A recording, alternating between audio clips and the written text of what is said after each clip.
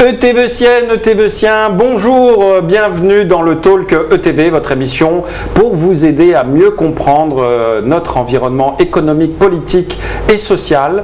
Nous recevons aujourd'hui Monsieur Jean-Luc Assor, euh, directeur avant-vente chez Microsoft et plus exactement chez Microsoft Azure à Dublin en Irlande. Il est ici dans les studios d'ETV pour nous parler de l'intelligence artificielle.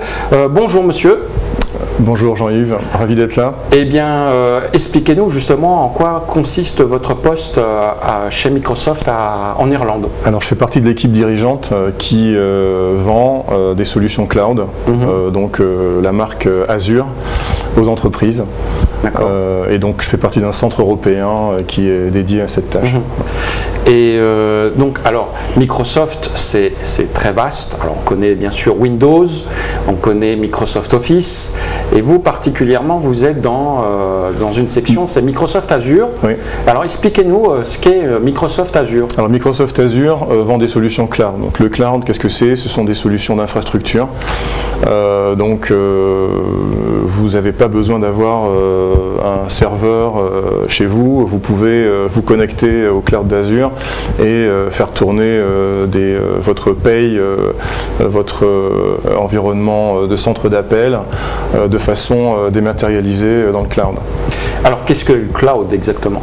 Alors le cloud, c'est euh, une solution, on va dire, as a service, c'est-à-dire qu'au lieu que vous achetiez vos mhm. serveurs et que vous ayez à trouver une salle informatique, que vous ayez à, trouver des gens pour pouvoir opérer euh, votre infrastructure, euh, vous confiez un certain nombre de tâches au cloud provider, donc, à donc au fournisseur de cloud, qui va se préoccuper de mettre en place la salle informatique, les, les serveurs, avoir des équipes dédiées qui vont opérer les serveurs. Et donc finalement vous facilite la vie et vous vous concentrez sur votre Est-ce qu'on peut dire que c'est un data center? Alors, ça inclut le data center, effectivement, donc qui est une ressource rare aujourd'hui, qui est très consommatrice en énergie, mhm. et donc euh, ça devient de plus en plus difficile d'ailleurs pour les entreprises d'avoir leur propre data center, euh, parce que ce sont des choses qui, sont très vite obsolètes, et donc avec euh, Microsoft entre autres, vous avez la possibilité d'avoir un data center qui soit au goût du jour, avec les meilleures technologies de refroidissement, etc., et les meilleurs processeurs pour faire tourner vos applications. Alors, Aujourd'hui, on vous a invité pour parler de l'intelligence artificielle. Pouvez-vous nous donner un aperçu général et actuel euh, des avancées dans l'intelligence artificielle et notamment chez Microsoft? Euh, Oui, alors en fait, euh, l'IA, c'est avant tout du décisionnel. En fait, ça permet de prendre des décisions, parfois de façon plus efficace que l'être humain. Et donc, c'est une, une, technologie en fait qui existe depuis les années 50 hein, euh, et qui a connu des, vagues euh, d'engouement, de, d'adoption et puis des, périodes en fait de décélération. Et là, depuis 2012, on est vraiment dans une accélération en fait sur l'intelligence artificielle avec euh, des technologies comme les réseaux de neurones par exemple qui sont arrivés et qui ont permis de faire des choses assez exceptionnelles à l'époque, notamment par exemple la reconnaissance d'images et la reconnaissance de caractère. Donc on est parti en 2012 avec des choses vraiment impactantes qu'on pouvait utiliser et qu'on a retrouvé dans beaucoup de logiciels. Et euh, à partir de 2017, on a connu une autre accélération avec justement les technologies dites de transformers qui ont été inventées par Google et euh, qui ont donné lieu justement à ce qu'on appelle l'IA générative. Donc euh, une IA qui finalement comprend le langage naturel, avec laquelle on peut parler et qui rend beaucoup plus de services l'impression de parler à un être humain, juste l'impression. Donc on est, on est dans cette vague d'IA générative avec euh, GPT, ChatGPT. Alors euh, justement, ChatGPT a fait la une des, médias. On a découvert ça au mois de janvier. Évidemment, c'est des travaux euh, en intelligence artificielle qui datent déjà depuis de nombreuses années. Notamment, Microsoft a, développé ses propres interfaces d'intelligence artificielle. Et là, aujourd'hui, ChatGPT est intégré, vous me le disiez avant l'émission, à Bing. À Bing. Oui. Alors, oui. Alors juste pour préciser, en fait, euh, c'est vrai que c'est, il y a une espèce d'engouement là en ce moment, mais euh, la technologie euh, remonte donc à 2017 et elle a été progressivement adoptée par un consortium, d'ailleurs qui a été créé par Elon Musk à l'époque. Il en est sorti, mais il a créé par Elon Musk en 2015, OpenAI, qui a favorisé en fait fait l'arrivée de, ces technologies d'IA générative. Et en 2019, Microsoft a décidé d'être en partenariat exclusif avec OpenAI et tout ça nous a conduit en, 2000, en, 2023 en fait, à fin 2022, à faire une annonce mondiale. Et donc c'est vraiment un partenariat. Microsoft finalement est un véhicule pour une technologie qui ne lui appartient pas mais dont elle a la distribution exclusive, qui est les technologies d'OpenAI. D'accord. Alors cette technologie est intégrée maintenant aux différents outils euh, de chez Microsoft. Alors on va, alors il y a beaucoup d'outils hein, chez Microsoft. On va en donner quelques mots puisqu'on a mm. un petit euh, délai euh, imparti. La, première chose déjà, c'est sur le monde du search, c'est-à-dire le monde du moteur de recherche. Ça change beaucoup de choses déjà puisque on cherche dans un moteur de recherche par mots clés.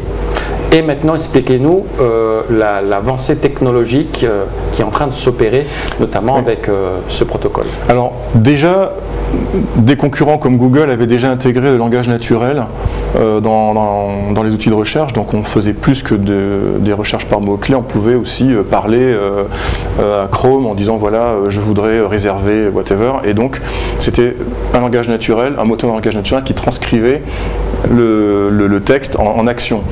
Et l'avancée principale de, ChatGPT dans Bing, c'est simplement euh, l'interaction, la, fluidité, euh, la, précision des réponses et euh, le sentiment de, parler à une intelligence humaine. Donc c'est vraiment une question de comment dire d'ergonomie, hein, si vous voulez. voilà. Et donc et après il y a effectivement des, possibilités qui sont assez assez assez bluffantes. Typiquement aujourd'hui ChatGPT parle créole.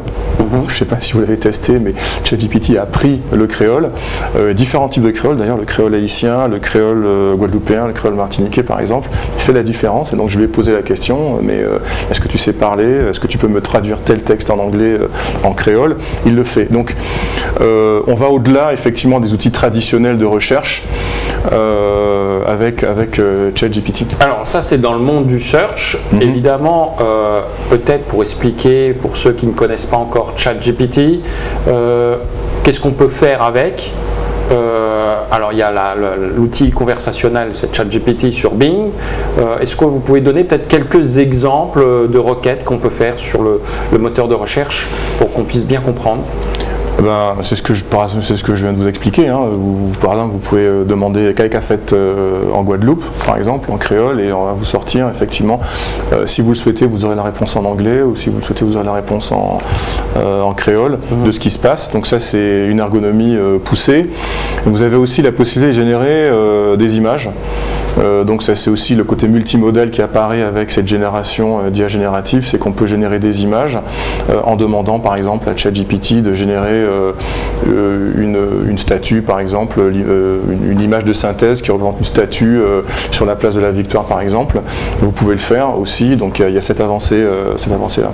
Mais, c'est vrai que la, partie conversationnelle, c'est un petit peu l'écume de ce que peut faire la technologie GPT en fait, qui est vraiment le vrai moteur euh, de recherche, euh, enfin le vrai moteur pardon, de langage naturel qui peut faire beaucoup plus que, que ça.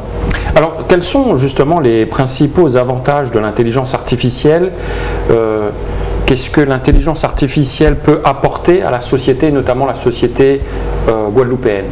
Alors, les, plusieurs questions en fait. Donc, les avantages, c'est qu'il y a un certain nombre de tâches euh, sur lequel l'intelligence artificielle va être imbattable. Si vous demandez par exemple à, euh, un opérateur euh, de, classer des documents ou de classer des images, il apprendra à le faire beaucoup plus vite que l'intelligence artificielle. En revanche, s'il a 10 000 images à traiter, le taux de, je dirais, de précision sera réduit. et vous pouvez demander d'ailleurs à un opérateur aussi de lire des textes et de, restituer la compréhension qu'il en a. donc, des, donc en fait, euh, des, tests de compréhension de lecture. Euh, si on, plus on augmente le nombre de pages, plus on s'aperçoit que euh, un opérateur humain va avoir une, de plus en plus d'imprécision dans ce qu'il va restituer. Et c'est pas le cas de l'intelligence artificielle. Donc c'est ça le grand bénéfice, c'est que vous vous pouvez remplacer certaines tâches, des tâches que l'IA fera mieux que, l'être humain. Donc reconnaissance d'images, résumé, classement d'images, résumé de, grands volumes de, données, de grands volumes de texte. Tout ça sera fait. Il y a eu des tests hein, qui ont prouvé que l'IA était bien plus performante que l'être humain. Et même d'ailleurs, le passage de certains diplômes, par exemple, le passage de, par exemple, du diplôme du barreau euh, aux États-Unis pour les avocats aujourd'hui est un test que, euh, sur lequel l'IA euh, aujourd'hui bat en fait les, la moyenne des avocats. Donc ça c'est ce qu'on peut faire avec. Donc il y aura certainement un certain nombre, il y aura des tâches qui seront, qui il n'y aura plus vraiment d'intérêt à ce qu'elles soient faites par des êtres humains, c'est clair. Moi j'irai pas jusqu'à dire qu'on remplacera des, des, jobs hein, entiers. Je pense que dans certains jobs, chaque opérateur pourra être plus efficace et être plus productif en utilisant l'intelligence artificielle. Alors, ce que, vous avez posé une deuxième question qui est ce que ça peut apporter à la, à la, société euh, guadeloupéenne? En fait, il y a déjà une première question, c'est est-ce que euh, on peut passer à côté? Euh, en tant qu'antillais, euh, est-ce qu'on va passer à côté? Donc je ne suis pas sûr parce que comme je vous le disais, euh, ChatGPT parle créole. Donc est-ce qu'on a envie finalement de laisser une intelligence artificielle parler créole, générer des images sans vraiment avoir un parti pris? Donc je pense que non, on a besoin de s'impliquer et peut-être même de voir comment on peut contrôler le type de créole et le type d'images qui sont produites. Donc ça par exemple on peut le faire en parlant l'intelligence artificielle, en langage naturel. Vous pouvez parler à ChatGPT et lui dire, quand tu t'exprimes en créole, utilise telles expressions ou parle à la manière d'eux et n'utilise pas euh, des gros mots, etc. Donc, on peut s'approprier cette technologie en tant qu'antillais. Je vois, je vois pour, donc pour les entrepreneurs et les gens qui innovent, avoir des agents conversationnels qui parlent créole et qui adressent différentes problématiques euh, qui sont les nôtres, euh, ça, ce sont des choses qui sont évidentes et immédiates, par exemple. Maintenant, euh, l'IA, euh, c'est un peu plus que des agents conversationnels, c'est plus que ChatGPT, c'est aussi des choses qu'on appelle les réseaux de neurones et qui vont permettre en fait d'accélérer tout un tas de processus de, simulation.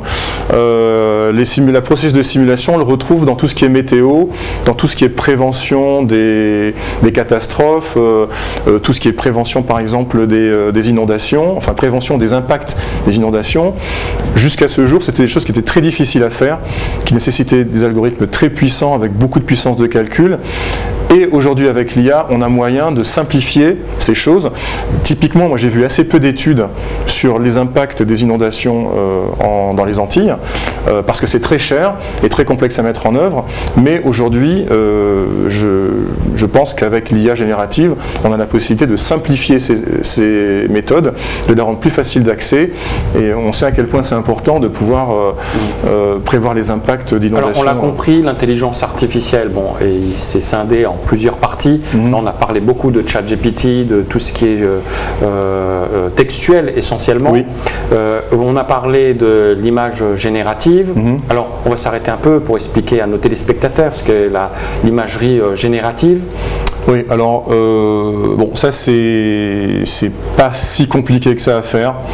Mais c'est vrai que ça a nécessité de l'entraînement. C'est-à-dire qu'il a fallu donner à l'intelligence artificielle un très très très grand nombre d'images, et là on parle de, millions d'images, de façon à ce que euh, euh, l'IA générative euh, comprenne comment, comment construire une image, comment une image est construite. Et donc en lui disant à chaque fois, ça, ça, dépasse le cadre des images de chats et de chiens. Hein. Là on est en train de parler de, de, de, maisons, enfin tout un tas de situations. Il a fallu entraîner avec grand nombre d'images. Et à partir de là, c'est vraiment une question de, je dirais, de taille de données. En fait, l'IA devient de, aussi euh, d'autant plus performante qu'elle est alimentée par un grand nombre de données. Donc, euh, alors, l'OpenAI, en fait, euh, a reçu un, premier investissement d'un milliard de dollars en 2019. Vous imaginez donc à quel point ce sont des moyens colossaux, mais en, 2020, en 2023, Microsoft a donné 10 milliards de dollars. Donc, c'est pour vous dire à quel point les moyens sont colossaux. Mmh. Et avec ces moyens-là, effectivement, on peut avoir des jeux de données extrêmement précis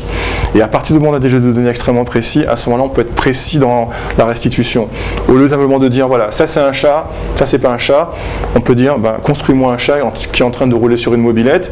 Et, Donc, il génère un chat avec une mobilette. Voilà, tout à fait. Donc, y a, d'ailleurs, il n'y a pas qu'OpenAI qui fait ça, Mindjourney euh, et d'autres logiciels le font. Mais ça n'est qu'une question de taille et d'investissement, en fait. Mhm. Donc, euh, on va. Taille de données, pardon, et d'investissement. On va avoir des nouveaux outils qui vont venir. Je pense que Microsoft, euh, on connaît Microsoft Office. Est-ce que cette intelligence artificielle va être intégrée dans ces logiciels? Et est-ce que vous pourriez nous donner un aperçu euh, de, ce qui va venir? Oui, alors c'est ce qu'on nous appelons ça copilote. Donc l'idée c'est vraiment de dire que l'intelligence artificielle ne prend pas euh, le pas sur l'être humain, l'être humain reste décisionnaire mhm. et ça restera de toute façon vrai euh, quel que soit le processus. Pour l'instant c'est une force de proposition. C'est une force de proposition. Je ne connais pas d'intelligence artificielle autonome aujourd'hui et je ne pense pas que les véhicules autonomes de niveau 5 existent un jour, même si c'est ce que prêche Elon Musk. Donc ça reste un copilote. Et donc, euh, on va intégrer cette IA générative, ces, outils décisionnels, on va les intégrer à la suite Office. Et typiquement, euh, vous aurez comme ça, quand vous vous connecterez à votre Excel, euh, finalement, cette intelligence va regarder ce que vous faites, donc bien entendu dans des, logiques de confidentialité, hein, et donc va construire un modèle, ce qu'on va appeler un jumeau numérique, de, vos, comportements. Donc vous vous connectez le matin, euh, vous regardez euh, l'état des ventes, l'état des, audiences en fait euh, avec des graphes pour, pour ETV par exemple, vous regardez, vous commencez à faire, vous, croisez ça avec vos investissements, avec les rentrées publicitaires, etc., les taux d'audience.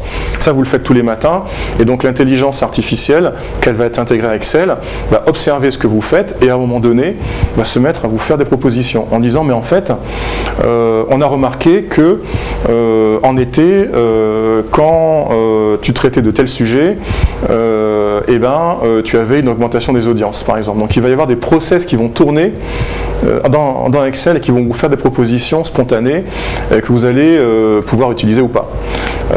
Et mais vous allez pouvoir aussi parler à votre Excel en langage naturel.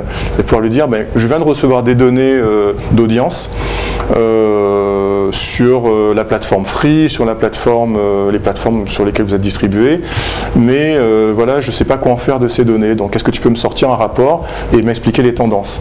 Et l'IA générative va comprendre le type de, traitement qui vous intéresse, le type de, données qui vous intéresse, et va le faire, et vous pourrez dire, ben voilà, moi ce que je veux, c'est que ça soit un tableur Excel avec telle charte graphique, par exemple, et, et donc vous préparer le travail.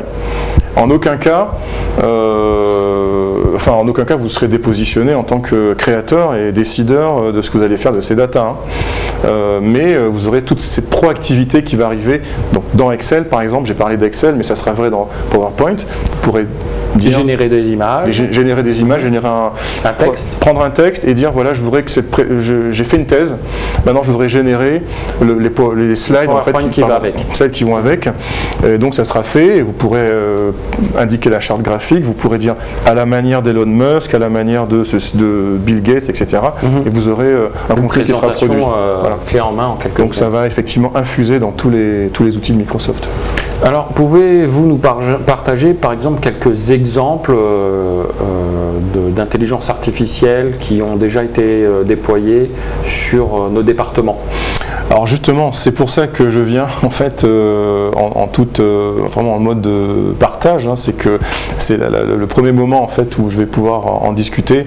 Euh, c'est pendant le festival Monde en Vue où j'aurai aussi une partie questions-réponses pour pouvoir avoir justement le point de vue de l'audience sur comment ils apprennent l'IA. Mais non, j'ai pas d'exemple aujourd'hui à vous donner. Tout reste à construire. moi, je pense que les entiers m'ont pas attendu. Hein, de toute façon, pour utiliser l'intelligence artificielle. Euh, moi, je suis plutôt en mode découverte de ce point de vue-là. Mais il est vrai que ça va tellement vite que voilà, on peut peut-être partager nos expériences et voir comment on peut progresser ensemble. Moi, je pense qu'aujourd'hui, euh, il y a suffisamment de sujets en Guadeloupe sur lesquels l'IA pourrait amener de la valeur pour qu'on crée un centre informatique dédié à l'IA en Guadeloupe, parce que la préoccupation des Antillais ne sera pas celle de grands groupes enfin, français, européens ou autres.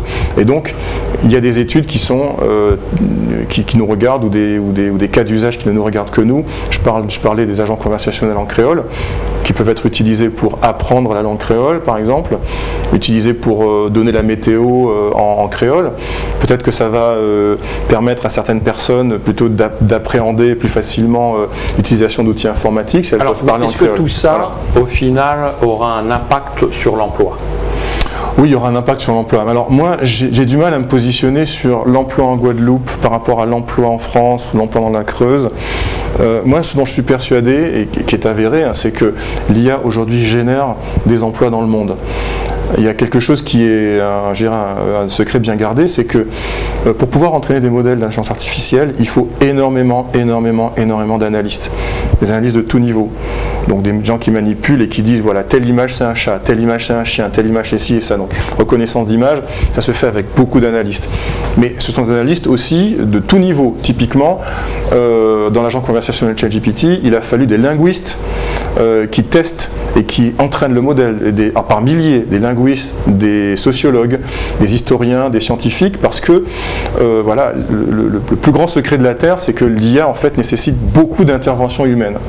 Et 80% du temps passé d'ailleurs. Peut-être pour l'instant, oui. pour l'instant, puisque on apprend à l'IA à reconnaître un chat, un mmh. chien, à analyser des données, mais à un moment donné, est-ce que l'IA ne va pas elle-même euh, c'est-à-dire c'est une étape suivante, euh, elle-même s'auto-corriger. Alors, euh, et là, alors ça c'est vrai que c'est la tech et l'IA sont partie des technologies qui, qui, sont complètement fantasmées aujourd'hui. Hein.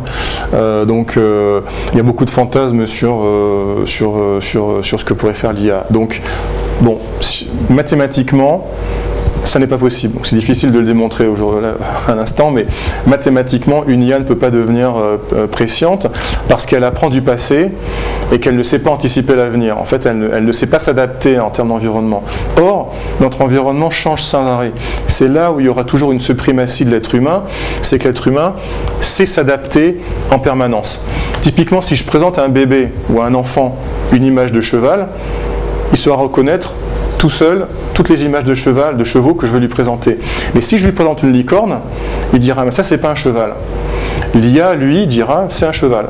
Donc on voit, c'est aussi bête que ça, c'est-à-dire que l'IA ne sait pas s'adapter à un environnement qu'elle ne connaît pas.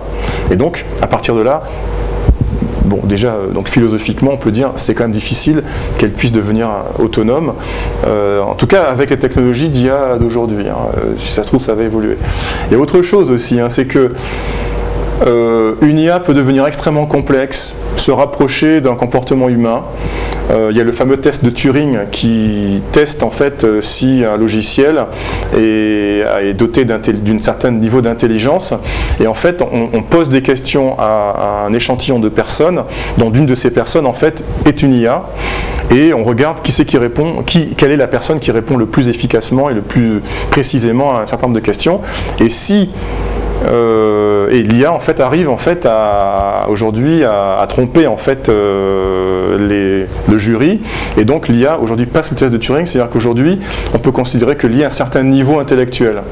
Ceci étant, ça ne sera pas euh, de, pour autant, elle sera pas, pas, pour autant capable d'être d'être presciente, omnisciente et autonome. Eh bien, merci Monsieur Assor d'être venu ici dans les studios de TV. On rappelle peut-être à nos téléspectateurs euh, l'adresse où on peut tester chez Microsoft ces technologies Oui, et donc euh, je fais de la pub, mais c'est vraiment pas l'objectif. Hein, mais effectivement, aujourd'hui, si vous voulez tester Bing, euh, donc le, moteur de recherche de Microsoft, c'est la meilleure façon pour vous d'appréhender ces technologies. Je dois dire que Google a ses propres environnements, Facebook aussi, qui arrive, hein, Facebook aussi, Amazon aussi. Donc tous les acteurs de l'informatique proposent des, des, outils d'IA qui sont euh, avec une moins, plus ou moins bonne ergonomie. Donc, mais le plus simple, c'est d'aller sur Bing, c'est gratuit et, et c'est performant. Bien, merci, merci de nous avoir suivis. Je vous rappelle que ce programme est disponible en replay sur notre site internet etv.gp et sur la plateforme replay.gp. Euh, retrouvez dans un instant la suite de nos programmes sur ETV avec le journal d'information locale. Euh, bonne suite de programmes sur ETV.